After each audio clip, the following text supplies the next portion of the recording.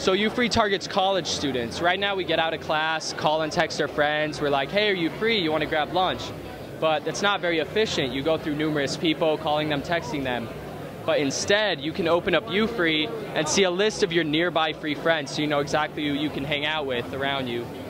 Uh, you can import your existing school calendar and kind of create your free time on here so your friends can see it.